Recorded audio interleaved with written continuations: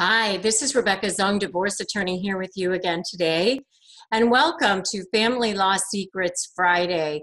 Every day I give you little tips and tricks and secrets from my, my 20 years as a top divorce attorney.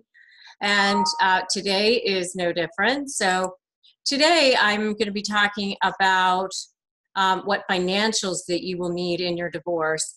So one of the things people always ask me in a new client meeting is, what do you need to pull together for your divorce? What financials are you going to need? And the answer is one that's often the same in, in divorce, or at least from lawyers, and that is that it kind of depends.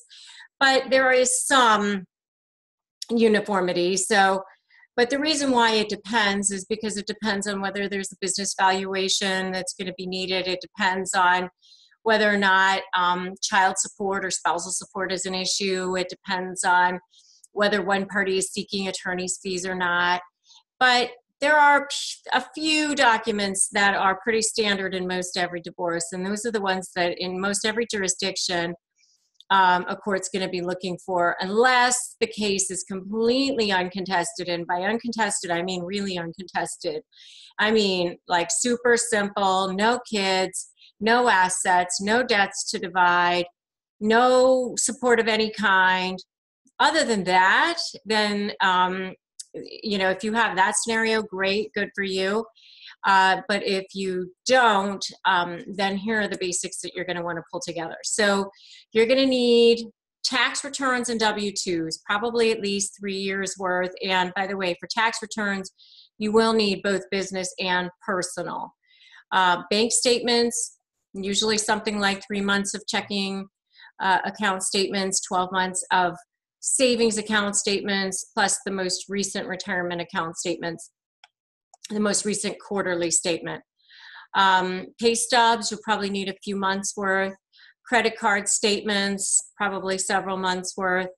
Deeds, uh, you'll want to have evidence of title. So, um, you know, title to your car, deeds to your homes, that sort of thing.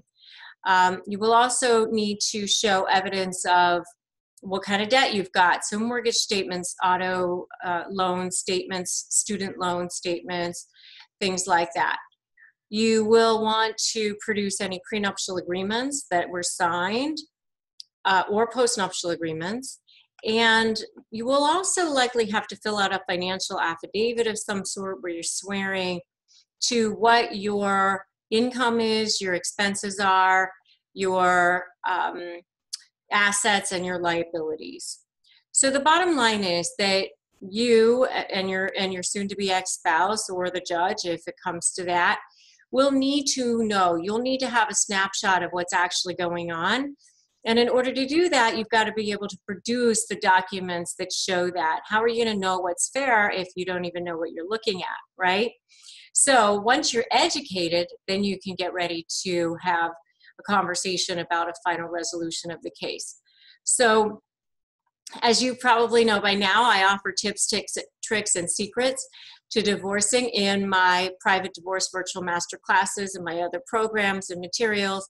Uh, to get educated, it takes a whole heck of a, lot less to get educated and be on top of the process uh, than um, just flying into this thing blindly It'll also go much faster and it'll be much cheaper for you. So, for more information on that, please head to my website, www.breakingfreefromdivorce.com, where I provide information and materials for you and, and helping you to get the winning, winning settlement that you want to get.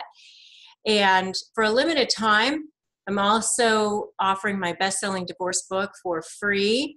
Uh, it's called a step by breaking free a step by step divorce guide to achieving emotional, physical, and spiritual freedom.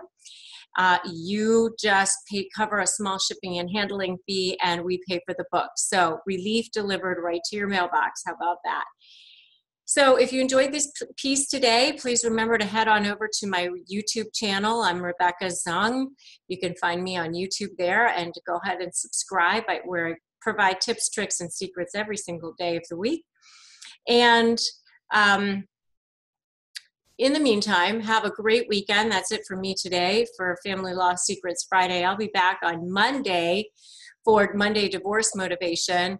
Please make sure to join me on Monday where I'll be talking about when to know if you should leave your spouse. That's another question that I often get. Until then, remember, you are just one step away from your new life.